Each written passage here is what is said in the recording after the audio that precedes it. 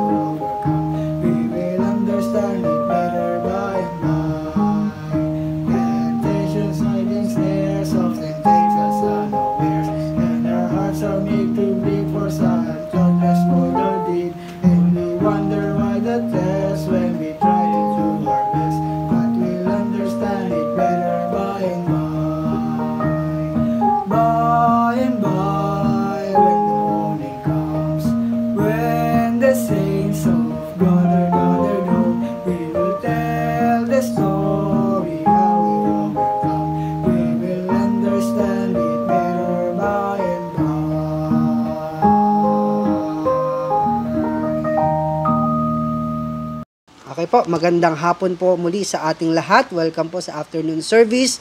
And ah, bago po tayo magsimula at magpatuloy, ah, tayo po muna ay manalangin. And let's us all pray. Panginoon Diyos, dakila sa lahat, maraming salamat po muli ah, sa oras na gugulin po Panginoon upang ah, ah, sa inyong salita ay patuloy po na dumalay po sa amin. And we pray Father Panginoon ah, na patuloy po na gagawa ang iyong um, mga kamay Panginoon sa bawat isa po sa amin. Ah, although ganito po ang aming condition, set up, um, naka-virtual po, but still, Panginoon, we are praising you and worshiping you, Panginoon. And we pray, Father, Panginoon, ah, sa magsasalita, bigyan niyo po ng knowledge, ng wisdom po, Panginoon, upang maibahagi po, Panginoon, yung salita po, Panginoon, na nais niyo ipa, pabatid sa bawat isa.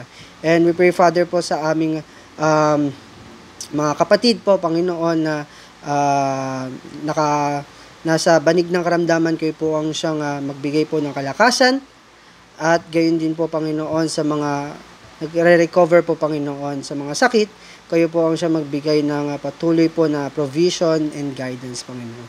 And we pray, Father, Panginoon, sa lahat po ng gagawin ngayong hapon, kayo po nawa ang siyang aming tataas, lulalhatiin, papapurihan. Sa matamis na pangalan ni Jesus, Amen.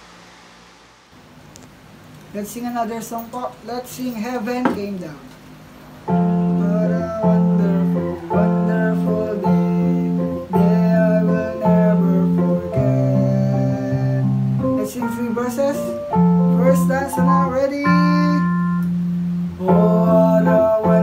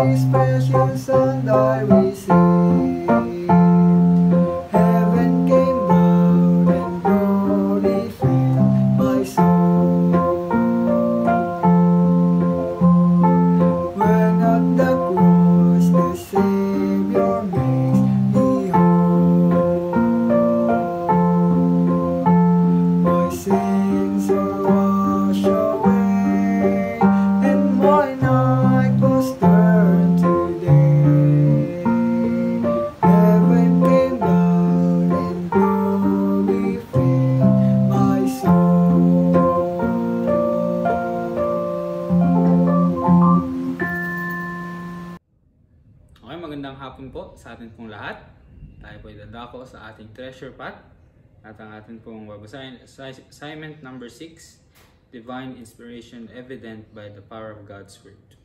Okay, so sabay-sabay po natin basahin. So makita niyo po sa ating screen.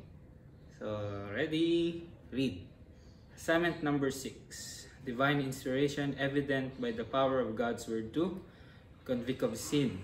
Acts 2.37 Now when they heard this, they were pricked in their hearts, and said unto Peter and to the rest of the apostles, Men and brethren, what shall we do? Produce faith. Romans 10:17.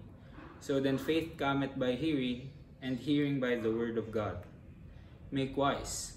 Psalms 19:7. The law of the Lord is perfect, converting the soul. The testimony of the Lord is sure, making wise the simple. Produce joy. Jeremiah 15:16. Thy words were found, and I did eat them, and thy word was unto me the joy and rejoicing of mine heart, for I am called by thy name, O Lord God of hosts. Produce peace. Psalms 85 verse 8. I will hear what God the Lord will speak, for he will speak peace unto his people and to his saints, but let them not turn again to holy. So tayo po dumako sa ating pong mission and vision. Let's read mission and vision statement. Mission. Introducing people to Christ, helping them grow and ultimately reproducing the process in others until his eventual return. Vision. To see every member of the church as a soul winner, then a discipler, and eventually reproduce the process in others also. Maraming salamat po. Gandang hapon po sa atin lahat. Ito po ang testimony. ah testimony po is about po sa family. ah. Sobrang nagpapasalamat po ako sa Lord kasi kahit ano pong symptoms wala po kami. Sa mga kasama ko po dito sa bahay and po sa sa school naman po ah. Nagpapasalamat din po kasi kahit po virtual po yung sa pag-aaral po ay may natututunan din naman po. At sa sa amin pong mga juniors po, ah, testimony ko po is um, sana po makapunta na po kami sa church at sabay-sabay po kami maglilingkod sa Lord. Yung tulad po nung dat, mga dati na nakakamiss lang po. And um, sa mga pumupunta po sa church, ah, lagi po kayong mag-iingat and lalo na po ngayon sa panahon na may kumakalat po na sakit, marami na pong nadadamay. At po sa mga nahawaan po ng sakit, na pag-pray po natin po sila and alam naman po natin na hindi po sila papabayaan ng Lord. And yun lang po. Maraming salamat po. Magandang hapon po sa ating lahat. Ang testimony ko po is unang-una po is nagpapasalamat sa Panginoon. Nagpapasalamat po ako sa Panginoon sa binigay niya pong blessing sa amin, sa family ko, sa araw-araw po. And nagpapasalamat din po ako sa Panginoon na nakasabay po kami ng 14, 14 days quarantine po kasi nga pa di pa nagka-COVID po si Kuya. So nagpapasalamat po ako nakapasabay po ako. And nagpapasalamat din po sa mga member na tumulong po sa amin during quarantine po namin. Mga nagbibigay po napunta po dito. Ang salamat po. And syempre nagpapasalamat din po ako sa Panginoon sa sa paggabay po sa amin sa family ko sa lahat po. And syempre nag ano din po ako na kung makabalik po ako sa ano sa kanya po kasi on din naman po na nalihis po talaga ako. Yan and yun yung nag-work po ako. Ngayon hindi po ako makabalik sa work. Nga need pa daw po magpa-swab. So ayun po. Ay nagpapasalamat iba sa Panginoon na graduating po ako this July. Graduating po ako ng senior high. Yun pa maraming salamat po Ah, magandang hapon po sa ating lahat sa FBBC Laguna. Magandang hapon po sa inyo. At muli po ako po ay nagpupuri, nagpapasalamat sa Panginoon dahil patuloy po na ang gawain dito sa Kabatuan ay nakapatuloy naman po sa biyaya po ng Panginoon. At ah, muli po, maraming salamat po sa inyo sa suporta po ninyong ibinibigay sa sa mission sa missionary po dito sa Kabatuan at uh, si Pastor Ike po patuloy po namang ah, siya ay nagpapasalamat sa inyo na sa kabila po ng pandemic pero nakapagpapatuloy po ang gawain. At ah, muli po ah, kami po ay ah, nakakadalawang taon na ang gawain natin dito sa Iloilo. At ah, ang isa po ay nakakalungkot kung bakit ang panahon nga na pagdating namin dito, nakakaisang taon pa lamang ay tumama na ang pandemic na iyan at ah, hindi po kayo makapunta. Miss na miss na po namin ang Laguna, FBBC Laguna. Pero yun nga po, siguro, eh, hindi siguro, sa panahon po ng Panginoon, ay matatapos din po ito. At alam ko na tayo magkikita-kita pa na tayo ay mga malalakas. At yun nga po, med- medyo nakakalungkot nga po na balita na tayo sa FBBC Laguna ay medyo merong outbreak ang FBBC Laguna ay pero may pinapakita lang po doon siguro ang Panginoon sa atin lahat at ah, ah, yun po ay matatapos din. At yun nga po, ingat po kayong lahat diyan, hindi po biro talaga ang pandemic at meron na po tayong kasamahan na namatay, si Brother Arnold at ah, siya po ay isa sa ah, yun nga po, yung COVID na iyan ay siya po ay hindi na natin makakasama. But ah, anyway po, ay yun po, ang gawain po dito ay salamat po sa Panginoon nakapagpapatuloy po ang ating gawain dito. Ang gawain po ng Panginoon ay patuloy po. Ngayon lang po ay medyo kung, kung paano po kayo diyan ay mahirap na sitwasyon ay lalo po dito.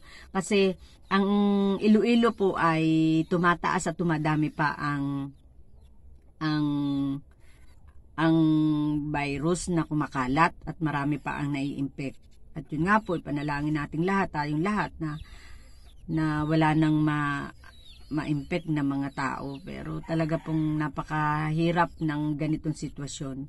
At yun nga po, ah ang gawain po ay apektado.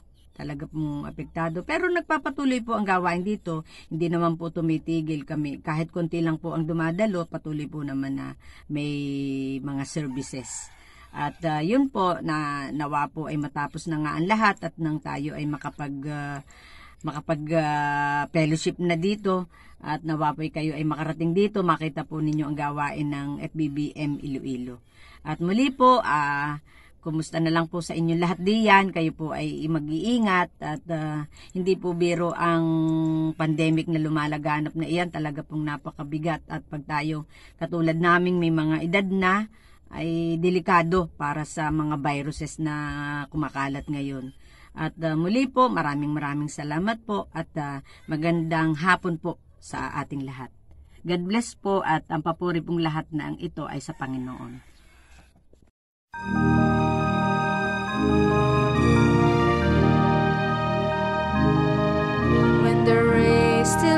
before me and the wind is blowing strong, when the witnesses surround me and my strength is almost gone, when the valley plunges deeper and life shatters all my dreams. Then I lift my voice to Jesus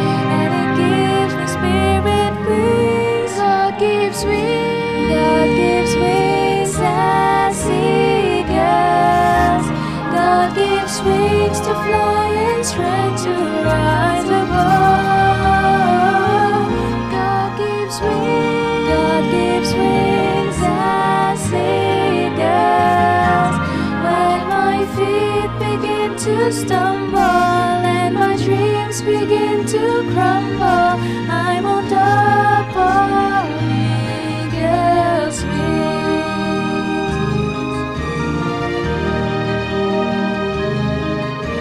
Let us run the race with patience. Let us lay each weight aside, looking only unto Jesus. He will be our faithful guide. He has run the race before us. He has won the victor's crown. And he calls to every Christian, follow me to higher ground. God gives wings. As eagles. God gives wings to fly and strength to rise above. God gives wings. God gives wings. When my feet begin to stumble and my dreams begin to crumble, I'm on top of eagle's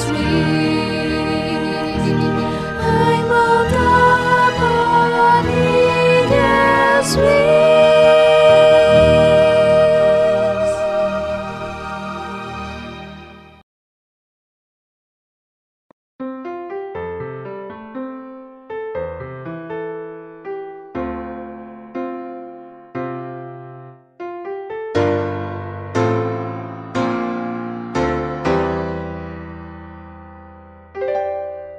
There's an emptiness around us, we can see it everywhere.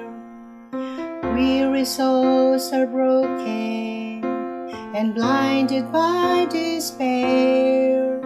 In the hearts of God's children, in the wounded and the weak, we look to find our purpose in the hope of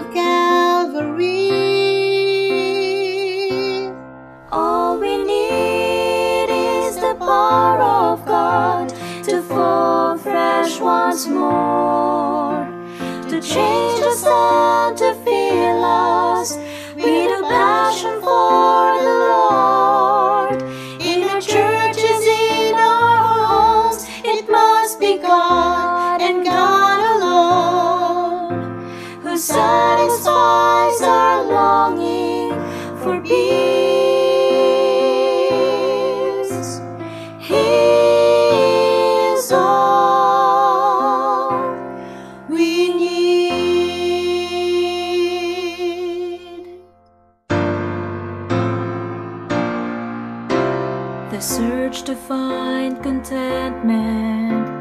is never satisfied in the things this world offers that will fade away with time.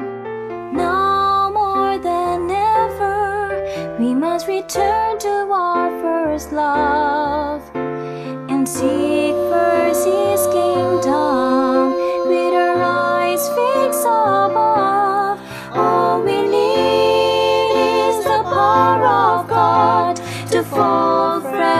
once more,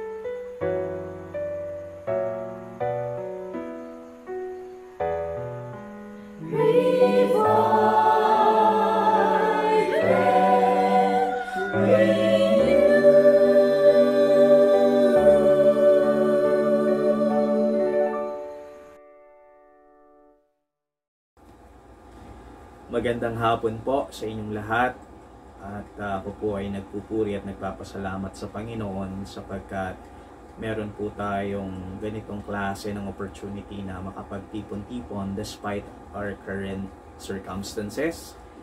Uh, although we're doing it virtually, but I know ang kapangyarihan ng banal na spirito ay kikilos sa bawat isa po sa atin upang ang kanyang salita ay di mawalan ng kabuluhan okay, sa mga nakikinig po. So, tayo po ay tutunghay ng atin pong mga Biblia at atin pong buksan ng ating mga Biblia sa aklat po ng Philippians. So, ito po ang ating uh, pinag-aaralan po for this month. Ang theme po natin ay Leaving the Past and Pressing Towards the Goal. Okay? So, napaka-importante po na uh, itong paksang ito dahil uh, we will benefit uh, out of this as we know at uh, malaman po natin ang katotohanan na ito. Ang sinasabi po ni Apostol Pablo sa mga taga Filipos, okay, sa Philippians chapter 3, okay, beginning from verse number 12 until verse number 14. Okay, so I hope you read along with me, okay, by uh, opening your Bible, okay, in this passage of Scripture. So verse number 12, I'll read. Not as though I had already attained, either were already perfect, but I follow after, if that I may apprehend that for which also I am apprehended of Christ Jesus. Verse number 13 Brethren, I count not myself to have apprehended, but this one thing I do, forgetting those things which are behind, and reaching forth unto those things which are before. And verse number 14 I press toward the mark for the prize of the high calling of God in Christ Jesus. Tayo po muna ay sandaling manalangin. Atin pong itungo ang ating mga ulo at ipikit ang ating mga mata. Tayo po ay manalangin. Diyos naming Ama, maraming salamat po sa pagkakataon na ipinagkaloob niyo po upang ang inyong salita ay amin pong mapagbulay-bulayan sa hapong ito. Dalangin Panginoon na kayo po ang patuloy na kumilos sa kalagitnaan po namin although we are gathering virtually. But I know your Holy Spirit will work in the midst of us, Panginoon. Dalangin po namin sa circumstances na amin pong pinagdaraanan sa sitwasyon po ng pandemya. Alam ko po, Panginoon, that you have a purpose and uh, I pray, Lord, that you take good care of your people at uh, patuloy po kaming manangan sa inyo pong salita. Dalangin po sa hapong ito ang mga kapatira na hindi uh, nakaratay, Panginoon, sa banig ng karamdaman, inyo pong patuloy na katagpuin at uh, sa pamagitan ng inyong mapagpalang kamay ay inyo pong hipuin upang sila po ay gumaling sa kanila pong karamdaman. Dalangin po ang inyong salita namin pagbubulay-bulayan ngayong hapon, inyo pong pagpalain.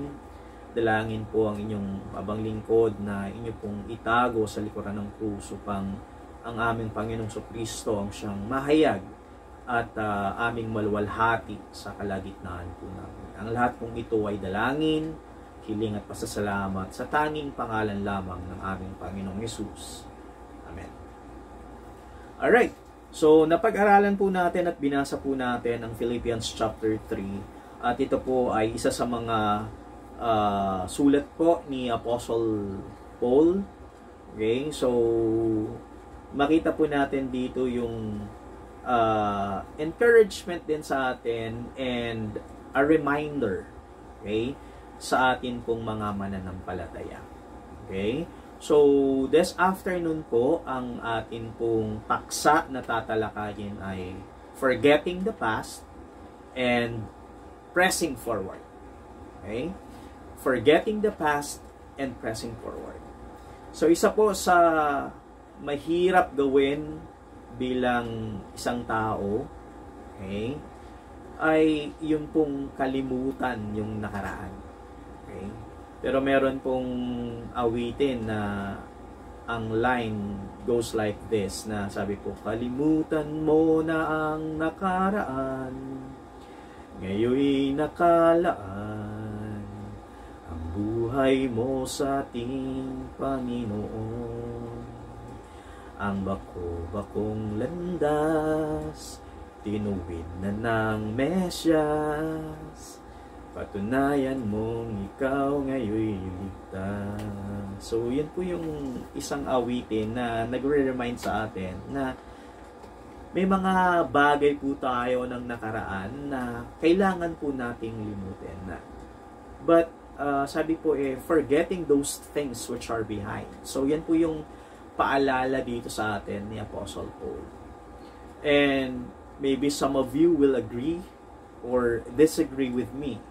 Okay, you might say, uh, we must not forget our previous experiences because out, out of those experiences, we learn from it. Sabi nga eh, if we don't le- learn mistakes uh, from the past, then we are bound to repeat the same mistake.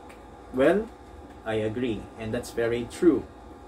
And uh, this might be some of your contentions or your arguments in saying that we should not forget about the past. You might say, well, uh, think of how wonderful people have been in, an influence in your life.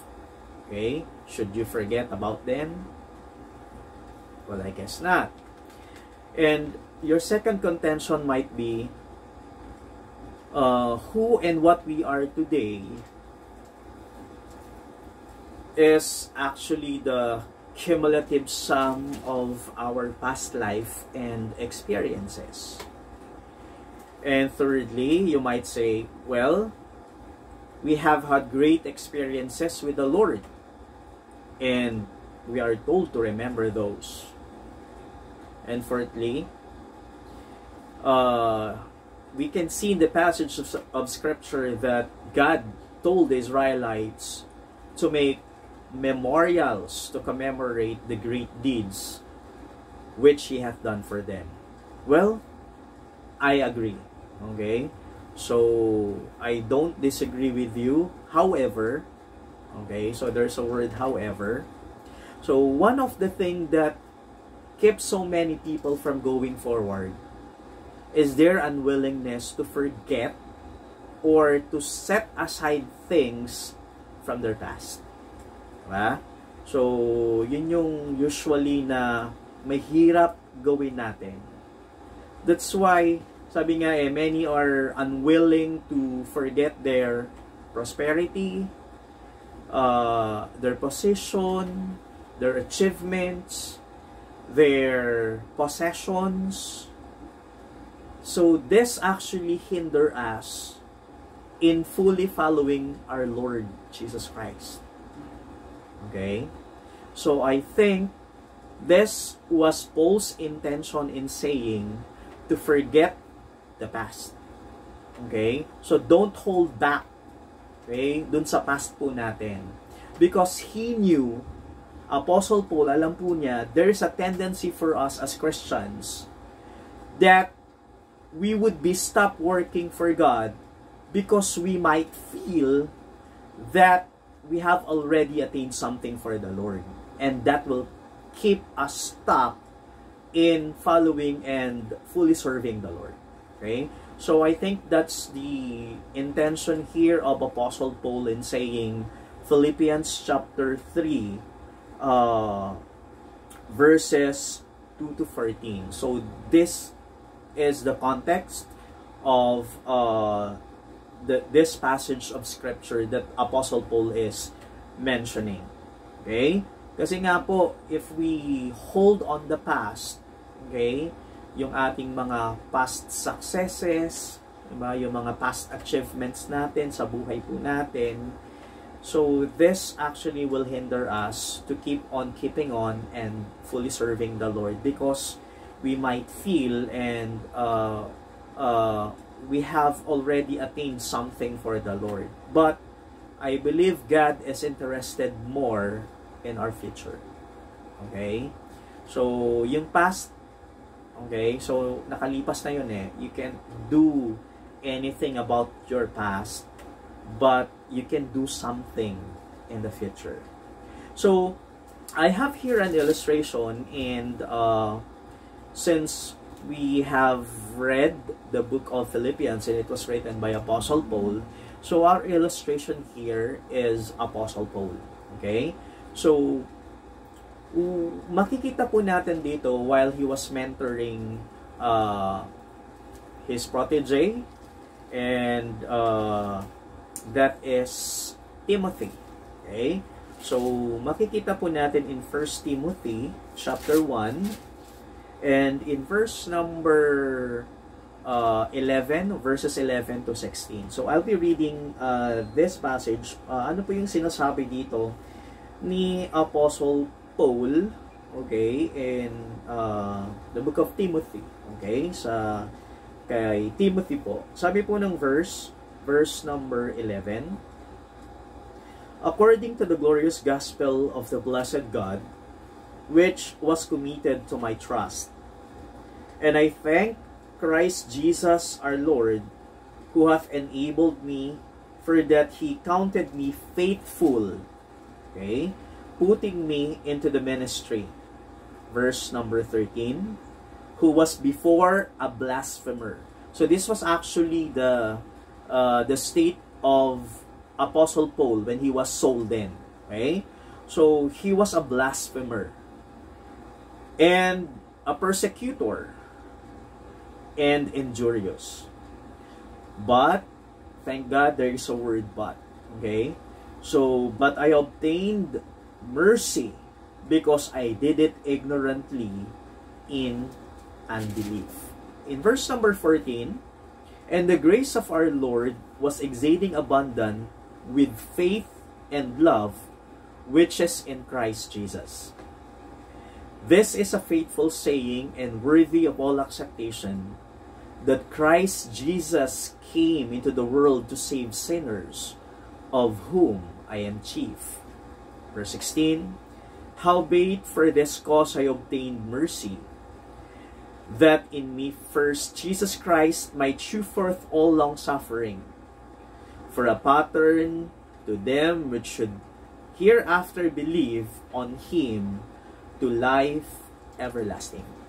So makita po natin dito yung situation ni Apostle Paul when he was pulled in, uh, when he was sold in. Okay? Makita po natin that uh, number one point is for us to press on. Okay? So point number one is don't let your past keep you from serving God. Okay? Alam ko may mga past po tayo. And aminin ko po, meron po rin akong past. And if I will be lingering on the past, that might hinder me to be used by God once again. ba? So tayo po yung magiging talunan. Okay? Uh, if we will still linger on the past. So here, Apostle Paul is saying, don't let your past keep you from serving the Lord. So, when Apostle Paul, way back then, so makita po natin, uh, sabi nga yung kanyang testimony sa uh, kay Timothy, sabi niya dito, I am the chief among them. Diba? He was before a blasphemer. So ano po yung ginagawa niya? Okay? So when uh, when uh, preachers or believers in Christ or followers of Christ, Christians at that, and during his time ay nananga, nangangaral ng salita ng Diyos, eh, isa po siya, okay, sa mga kumakalaban dito. And in fact, so we can see that he was present at the stoning of Stephen. Okay? So, Stephen, for some of you, uh, siya po ang first martyr, first Christian martyr. Okay? And we can find that in Acts chapter 7, verse number 58. Okay? So, in Acts chapter 7, verse number 58, it says here, okay, and I'll read, Acts 7, verse 58, and cast him out of the city. So, ito po ang context po nito, yung uh, stoning po ni Stephen. Okay, so if you will begin reading from verse number 54. So in verse number uh, 58 po, it says, And cast him out of the city, and stoned him. And the witnesses laid down their clothes at a young man's feet, whose name was Saul. So he was present.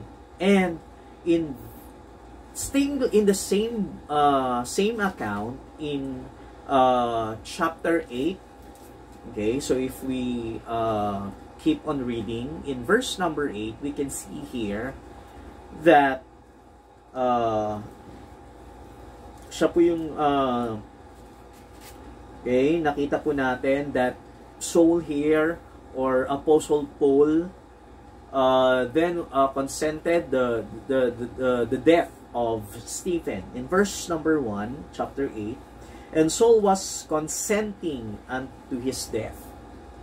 And at that time, there was a great persecution against the church which was at Jerusalem. And they were all scattered abroad throughout the regions of Judea and Samaria, except the apostles.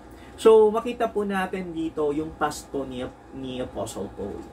Meron po siyang uh, hindi magandang nakaraan. Okay? Uh, he consented the death of uh, Stephen. Okay? Nakita po natin yun. Okay? And uh, for the lesson that Apostle Paul has learned is, sabi nga, we must learn to forget. So, magandang isipin po, di ba? Kung meron tayong uh, hindi magandang nakaraan, so, I hope that will not keep us, okay, from uh, serving the Lord or uh, following the Lord. Okay? So, we have, uh, I mean, we're given by God a fresh new start. Okay? So, so yung lesson dito na natutunan ni Apostle Paul while he was uh, mentoring Timothy is, yeah, uh, I have, uh, sabi nga eh, I might been a failure in the in the past because uh, I, I did it in unbelief. Okay? Hindi ko pa noon or hindi pa noon niya kilala kung sino si Kristo. Okay? Until he met the Lord Jesus Christ and he was personally called. Okay? So that's why he became an apostle and that's one of the qualification of being an apostle that you are personally called by God. And uh, he has also seen the sabi nga eh yung yung, yung uh, resurrected body of the Lord Jesus Christ. Okay? So he was uh, sabi nga eh called personally in the road of Damascus while he was on his way to persecute the the Christians or uh, yung church. Okay? So dito niya na doon siya nagkaroon ng encounter sa Panginoon. And he then realized na yun palang ginagawa niya ay parang sabi nga eh walang kabuluhan. Okay? So he's kicking against the prick and uh, he's persecuting the true and the living God. Okay. So, yun po yung natutunan dito ni Apostle Paul. And if Paul did not learn to forget his past, I think he will be or he will fail to grasp the truth of learning to forget. Okay? And hindi po siya gagamitan mightily ng Panginoon. In fact, uh, sabi nga eh, eh, eh anyway, uh, if uh, we we did not learn to to to forget, then we will be handicapped spiritually. Okay, so yun yung pangahawakan sa atin ng kalaban ni Satanas for us not to continue, not to keep on keeping on. Okay? So we will be handicapped spiritually and that will be for the rest of our life, for the rest of our entire life. Okay? So, yun yung pangahawakan sa atin ng kalaban. And we will never be able to reach forth unto those things which are before. So yan yung mahalaga, di ba? Reaching forth unto those things which are before. So we will not achieve this unless we chose to forget. And as we see the result, okay, so if we will be reading the life of Paul, okay, so yun kanyang missionary journeys on how God used Apostle Paul mightily. And look at his accomplishments. He even turned the world upside down. In fact, if uh, you have your, your scripture, almost half of the New Testament was written by Apostle Paul. And he is uh, inspiring the churches, inspiring Christians and believers at that to keep on pressing on and reaching forth the goal. Okay? Press toward the mark. So, yun po yung encouragement sa atin ni Apostle. And who is this man na nagsasabi po nito? Yung meron pong madilim na nakaraan. Okay? Persecutor. A blasphemer. So, if he linger dun po sa kanyang past, I think he will not achieve what he has achieved. Okay? Na alam po natin. Okay? Na naging accomplishment ni Apostle Paul. So, ganun din po tayo bilang mga mananampalataya. Marami po tayo probably na masalimuot na nangyari sa buhay po natin, in our personal life, in uh, even in our Christian life. But the encouragement here is keep pressing on. Okay? Uh, sorry, medyo nagiging emotional ako, but uh, learn things from the past, but don't hold dun sa past po natin. Okay? Para still magpatuloy po tayo, especially kung yung aalalahanin natin in the past is uh, failures, uh, heartaches, pains, problems. We can move on if we will hold on that. So, that's why I am personally encouraged here by the Word of God na keep pressing on for you to be able to reach what is ahead. Okay? Uh, to reach forth unto those things which are before. Move on. Keep on. Because that's the only way for you to succeed and to reach what lies ahead. Okay? So, I know in life we have struggles. Meron po tayong mga persecutions probably. Meron po tayong hardships in uh, while we are walking the Christian walk, the Christian life. Sabi nga, it's not actually a road na maayos. Okay? In fact, when you became a Christian, you are enlisted in you're in a battlefield already because sabi nga we wrestle not against flesh and blood but against principalities, against powers, against the rulers of darkness of this world. ba? So, yun yung buhay Kristiyano eh na ang maganda dito is meron pong salita ng Diyos sa our guide for us to be successful in our Christian walk, in our Christian life. So, Apostle Paul is uh, encouraging everyone na probably na sideline na tayo sa Christian life po natin. Apostle Paul is saying, Hey, hindi mo kailangang magmukmok, hindi mo kailangang tumigil na lamang at huwag magpatuloy. In fact, siya po mismo yung pwede nating maging example na yung kanyang nakaraan so hindi po yun naging way para hindi po siya magpatuloy at gamitin mightily ng Panginoon. I know the Lord will do something great in your life if we will just be following the Lord at magpapagamit po tayo sa Panginoon. Okay? So that's an encouragement of Apostle Paul. And uh, the danger of looking back is that uh, it might uh, hinder or looking back so that encourages actually the possibility of going back. Okay?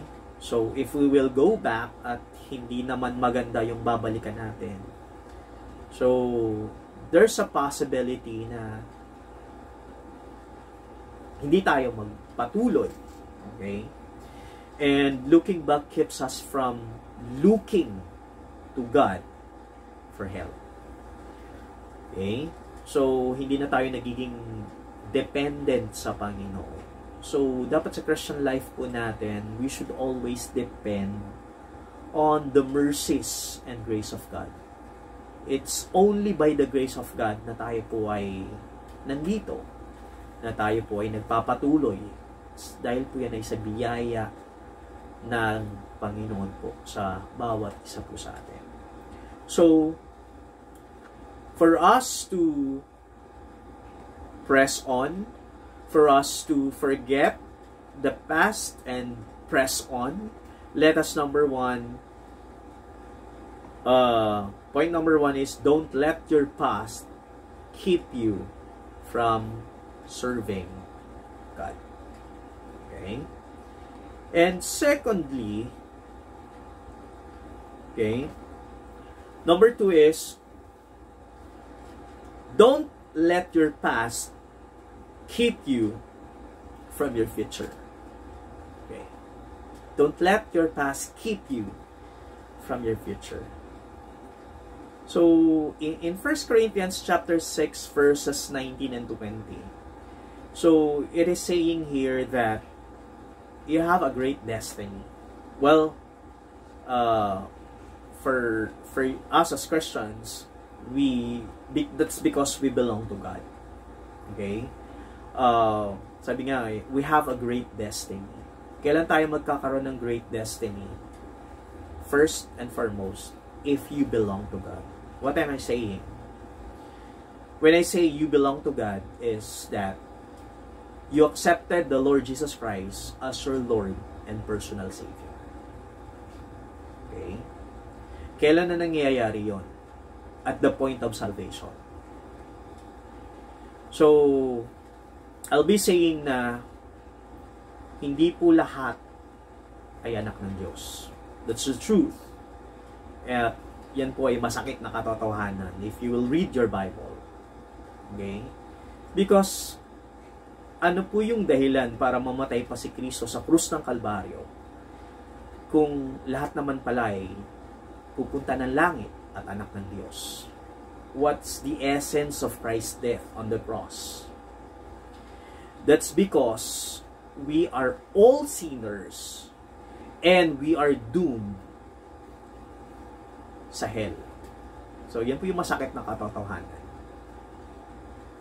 But, sabi nga po, hindi po natin kayang pumunta ng langit on our own.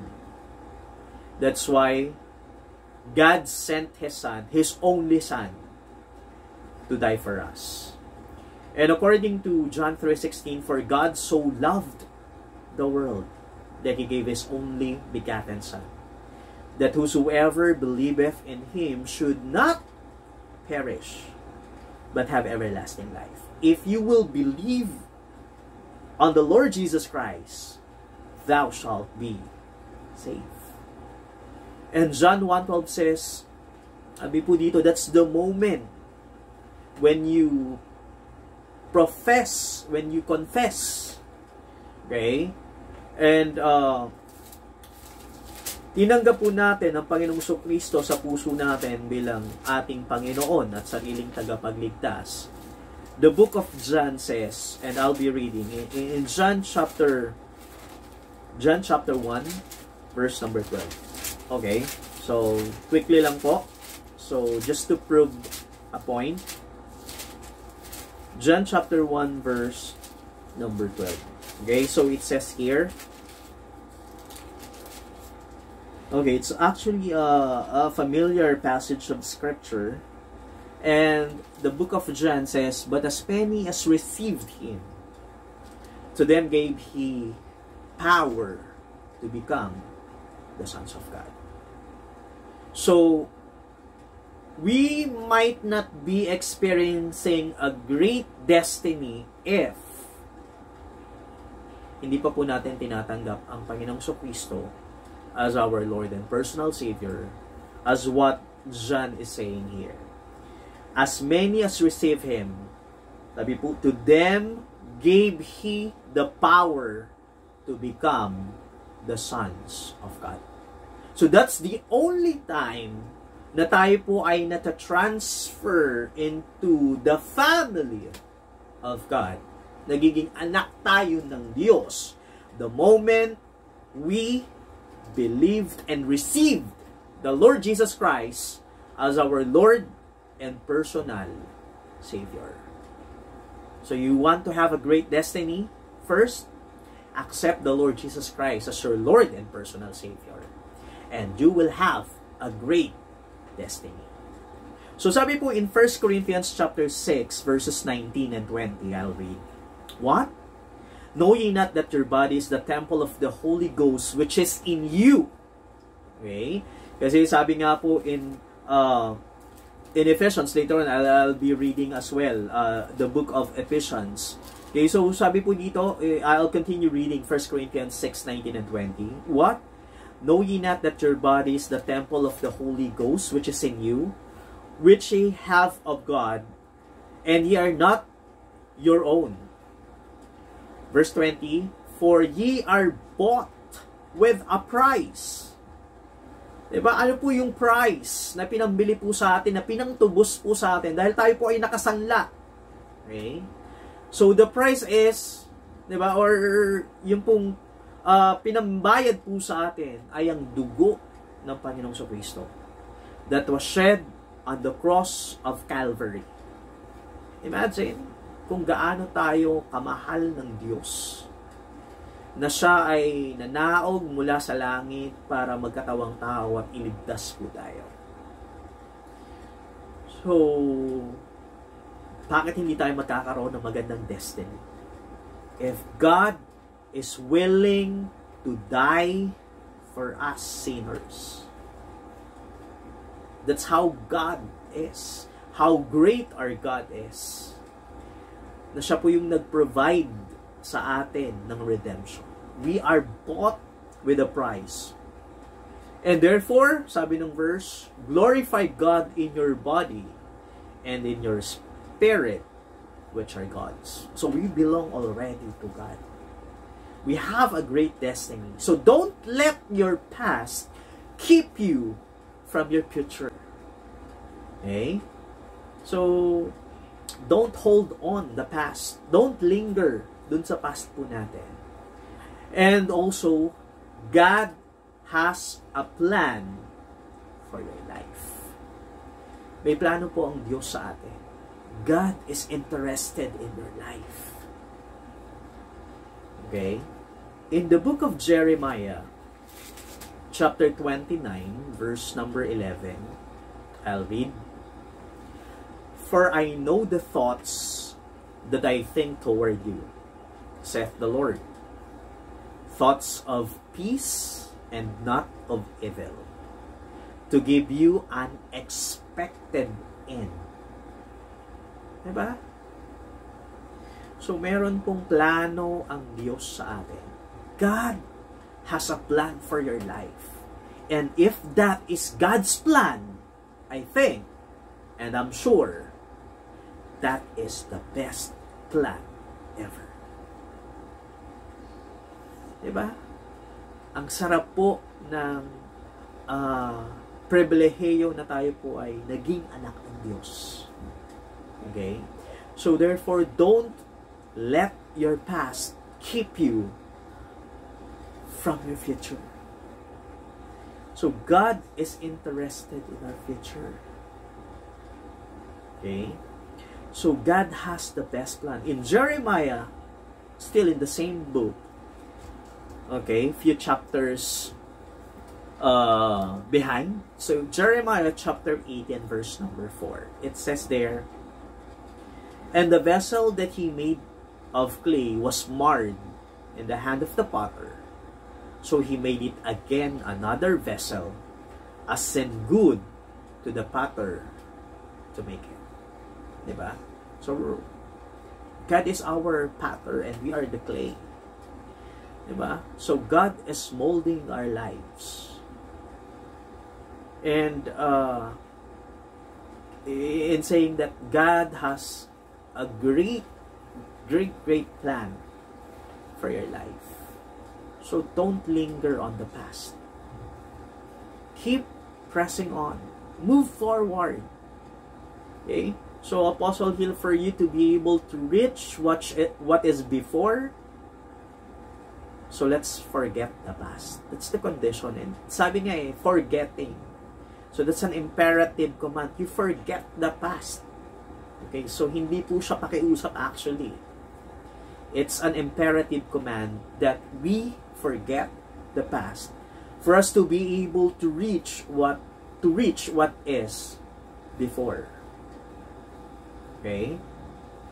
So sabi po dito if even if your life has been messed up still God is not finished with you yet. Diba? hindi pa tapos sa atin ang Panginoon Diba? He has developed a new plan for your life. Okay? So, taking you from where you are today and moving you forward to a great future. So, that's an encouragement for us Christians. To keep on. Just forget the past. Okay? Yes, you have learned lesson from the past, but don't hold. Okay? So, mar marami tayong mga lessons in in the scriptures when they keep holding on their past. Eh, hindi naging maganda yung result. So, look at uh, sabi nga eh, remember Lot's wife, ba? So, uh, we have learned that already in our past lessons uh, on the preachings that we have heard. So, remember Lot's wife. Diba? So, Lot and uh, his family was living in, in, in the land of Sodom and Gomorrah. And Sodom and Gomorrah is not actually a place for us, especially for Christians, diba? That's why God instructed Abraham para alisin po si Lot in the land of Sodom and Gomorrah because hindi po kalooban ng Diyos na nandun po tayo sa ganong klase ng situation. But, when Lot escaped before the destruction of Sodom and Gomorrah and his family, so sa nakita po natin in the passage of scripture that sabi ng ang instruction ng Panginoon, don't look back. And what Lot's wife did was he, uh, she turned back. Lumingon po siya. But clear ang instruction ng Panginoon. It's an imperative command. Do not look back. And we know what happened. Lot's wife, she became a pillar of salt. Bakit kaya salt? Di ba? Ano po ba ang essence ng salt? ang salt po ay ginagamit bilang preservation, preservative, 'di ba? Para hindi masira yung pagkain po natin, nilalagyan natin ng asin. Okay, so that's actually a reminder for us Christians that we should be a salt. 'Di ba? We should be a light. Sabi nga eh, ano pa ang use ng asin kung wala na yung alat niya? Diba? We can actually see that in the book of Matthew. Okay. Uh, in the book of Matthew, we could see here na meron tayong instruction from from the Word of God in verse number 13, we are commanded, sabi po dito, and sabi nga eh, uh, according to, to Matthew chapter 5, verse number 13, ye are the salt of the earth. But if the salt have lost its savor, wherewith shall it be salted? It is thenceforth good for nothing, but to be trodden, uh, but to be cast out, and to be trodden underfoot of men. And we are also the light. So that's why when when, when uh, Lot's wife turned back, so she became a pillar of salt. So that's a reminder for us Christians na tayo ay maging asin sa mundong masama. Diba? So let us transform. Let us not conform. So sabi ng uh, that's in the book of Romans. I think it's Romans chapter 12 verses 1 and 2. Diba? So tayo ay maging transformer, hindi maging conformer. Okay? So it's like becoming a thermostat, 'di ba? So kung ano yung gusto nating temperature, yun ang dapat mangyari. Parang sa air conditioning, 'di ba? If you set this on this temperature, so until that temperature i-reach niya yung desired temperature natin because that that's what we want. Okay? Unlike thermometer, kung ano lamang yung sukat, so yun ang ginigauge niya. Okay? So, makita natin, uh, let us be uh, a salt of the earth. So, here makita po natin, okay, so let's go back, going back. So, if even if your life has been messed up, God's not finished with you yet. And He has developed a plan for you, taking you from where you are today and moving you forward to a great future. So that's actually an encouragement for us. And also, if uh, don't keep your past or don't let your past to keep you from your future because num- number three is you're already a winner. You're already victorious. Okay? So we could see there in in in uh in First John chapter 4 verse number 4. So I'll be reading again the passage of scripture in First John chapter 4 and verse number 4. It says there, Ye are of God, little children, and have overcome them, because greater is he that is in you, okay, than he that is in the world. We are already an overcomer, and that's because of the Lord Jesus Christ. We are already victorious. Di ba? Parang masarap isipin nyo na nakikipag-battle tayo, pero alam natin in the end, panalo tayo. Ba? Parang uh, uh, isang uh, illustration for, uh, for this is yung uh, parang wrestling, ba? Yung napapanood na wrestling match na it's actually a show na alam na nung participants nung dalawang magkalaban kung sino yung mananalo. So what they're trying to do is to give a good show for the audience. 'Di ba? So if you know that you're already a winner, so you're just doing a a thing na alam mo na at in the end panalo ka na. Parang ganun eh. 'Di ba? Although we are in the battlefield, but if uh, we will be thinking that we're already a winner. And hindi yung sa sarili natin, of course, that's because of the grace of God. Okay? So, we are already victorious. So, in Adam, we were born loser. Okay? Dahil sa lahat ng maipapamana ni Adam sa atin, or ni Adan, ay yung kasalanan. Okay? For us in Adam, all die. What do you mean by that?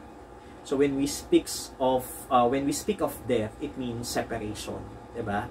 We are separated from God. Okay? Na naging makasalanan tayo because God is holy and we are sinners that keeps us from God. So, what the Lord Jesus Christ did ay inialay niya, binigay niya yung kanyang buhay for us to have redemption, for us to have salvation. So that's why we have access. And sabi nga eh ang ang ang naging end noon is nagkaroon tayo ng privilege na maging anak ng Diyos. Okay? So in Adam you were we were born a loser, but in Christ tayo ay pinanganak a winner. Okay? So nagkaroon tayo ng pangalawang kapanganakan. And that's when we accepted the Lord Jesus Christ, that's actually you've been born again. Okay? Pinanganak na muli. Okay? Kaya sa mga nanonood po, especially dun sa mga kaibigan po natin, uh, sa mga bisita po natin, uh, better to have two births because you will have only one death. Or perhaps, you might not experience that. Ano po yung sinasabi ko? Meron pong account in the book of John, uh, John chapter 3. Ito po yung conversation ni uh, Nicodemus, tama ba? And uh, the Lord Jesus Christ. Okay? So, one of the Pharisee. So when we say Pharisee, so parang these are actually doctors of the law. They they know the law. Okay? But uh, because he's a natural man, uh, he was blinded. So in in in John chapter 3 it says here uh, Nicodemus actually has a question uh, with the Lord Jesus Christ. In verse 1, there was a man of the Pharisees named Nicodemus, a ruler of the Jews. The same came to Jesus by night and said unto him, Rabbi, we know that thou art a teacher from God, or come from God, for no man can do these miracles that thou doest, except God be with him. Verse 3, Jesus answered and said unto him, Verily, verily, I say unto thee, except a man be born again, he cannot see the kingdom of God. So, ito yung sabi ng Panginoon, except you be born again, you can see the kingdom of God. So, nagtanong dito si Nicodemus in verse number 4. Nicodemus saith unto him, How can a man be born when he is old? Can he enter the second time into his mother's womb and be born? So that's the question of Nicodemus. Paano mangyayari na ipapanganak akong muli? I'm already a grown-up man. Can I enter the second time into my mother's womb and be born? So, humanly speaking, that's impossible. But what the Lord Jesus Christ is saying here, verse number 5, Jesus answered, Verily, verily, I say unto thee, except a man be born of water and of the Spirit, he cannot enter into the kingdom of God. So, except a man be born of water. So, the Word of God symbolizes water. It cleanses us from our unrighteousness. Diba? Yung salita ng Diyos. Yun ang symbolism po niya. It's water. Diba? Unless na ipanganak ka, okay, sa tubig or sa salita ng Diyos or uh, makita mo yung sarili mo na ikaw ay makasalanan sa salita ng Diyos na ikaw ay patungo ng impyerno. At sinasabi din sa salita ng Diyos and the Lord Jesus Christ is saying that uh, except a man be born again okay you can't see the kingdom of God. So sinasabi ng mga uh, ng mga writers ng anong ng the banal na kasulatan. If you believe on the Lord Jesus Christ and accept him as your Lord and Savior then you will be saved. So yun po. Akala po kasi ni Nicodemus that's the physical birth na tinutukoy. So yung physical birth po natin actually sabi nga we were born a loser. Lahat po tayo ay namana po natin yung pagiging makasalanan ni Adan. Kaya tayo po ay naging makasalanan. Okay? So, yun yung po yung first birth. Yung second birth po na sinasabi ng Panginoong Kristo, na kung tayo po ay manampalataya sa, sa sinasabi ng salita ng Diyos, be born of water, then tayo po ay magiging anak ng Diyos. Yan po yung nutukoy na pangalawang kapanganakan. Okay? So, kung meron po tayong pangalawang kapanganakan, meron po tayong isa na lamang kamatayan, and that's only physical. And perhaps, if the Lord Jesus Christ will not tarry, we will not experience physical death. If you accepted the Lord Jesus Christ as your Lord and personal Savior. Diba? You're already a winner. You're already an overcomer. God has the best plan for you. So don't linger on the past. So don't let your past keep you from your future. Diba? For us to reach what to reach what is before. So let's forget the past. Kalimutan na natin yung nakaraan. Okay? At magpatuloy po tayo sa ating Christian life. And in conclusion, in Isaiah chapter 43 verses 18 to 19, so dito po tayo magtatapos. So this is an encouragement from the Word of God. Sabi po ng Isaiah 43, 18 to 19, Forget the former things. Do not dwell on the past. Okay? It's actually an imperative command. Okay? It's an imperative command. Hindi po siya pakiusap. Forget the former things. Do not dwell on the past. See, I am not I am doing a new thing. Now it springs up. Do you not perceive it? I am making a way in the wilderness and streams in the wasteland. So we will not be experiencing this if we will hold back. The Israelites will never see the promised land if they will linger in Egypt. And I hope this afternoon ay naging blessing at naging pagpapala, reminder po sa atin ang salita ng Diyos in saying na forgetting the past and pressing towards our goal.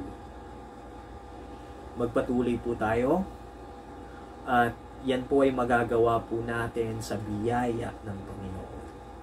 So, tayo po ay maging sensitive sa leading po ng Panginoon sa buhay po natin.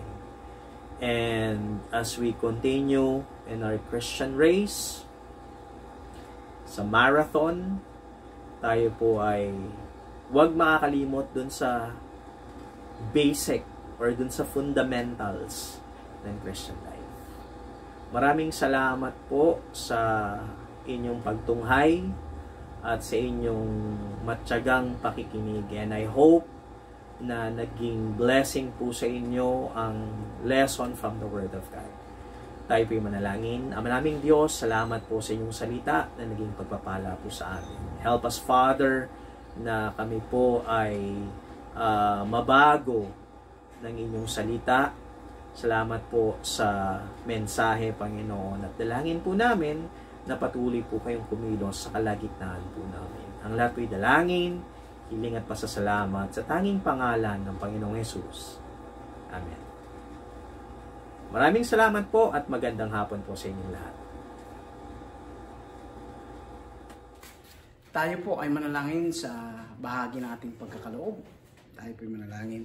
Dakilang Diyos, salamat po at sa inyong biyaya ay hindi nyo kami kailanman iniiwan kundi patuloy na tinutugon ayon sa mga pangailangan at sa mga pagpapalang aming higit na maipagpapasalamat ay ang biyaya na kayo po ay mapaglingkuran. Salamat po at sa bahagi ng bawat isa na kung saan ay aming balik sa inyo ang ikapo, ang mga kaloob at maging ang mga pagpapala na kung saan ay inyong ibinuhos sa amin. Basbasan niyo po ang aming mga kaloob at ang magkakaloob sapagkat ito po ang aming pasalamat dalangin sa pangalan po ng aming Panginoong Yesus. Amen.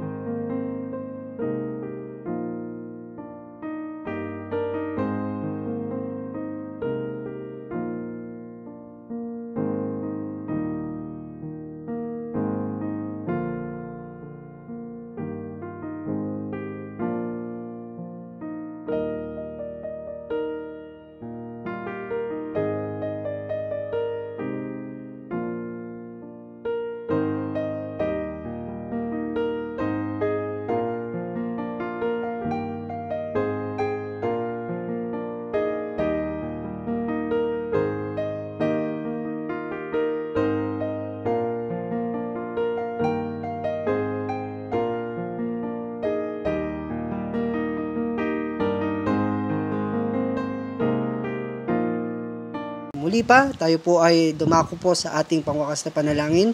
Let us all pray. Panginoon Diyos, dakila sa lahat, maraming salamat po muli sa oras na nailaan niyo po Panginoon ngayong hapon with Team Andrews ah, na na ihayag po ang iyong salita at patuloy po Panginoon na tumimo po sa bawat nakikinig ang iyong salita ma-apply po Panginoon sa kanilang mga gawain. And we pray Father Panginoon sa aming kondisyon ah, sa mga susunod na serbisyo po sa isang linggo, nawa po is makabalik na rin po ah, kami sa aming normal na services, Panginoon, at makapagsamba po ng maayos at magpatuloy po, Panginoon, sa inyong kalooban. And we pray, Father, Panginoon, sa aming pagtatapos, kayo nawa po ang siyang aming lulatiin, papurihan sa matamis na pangalan ni Jesus. Amen.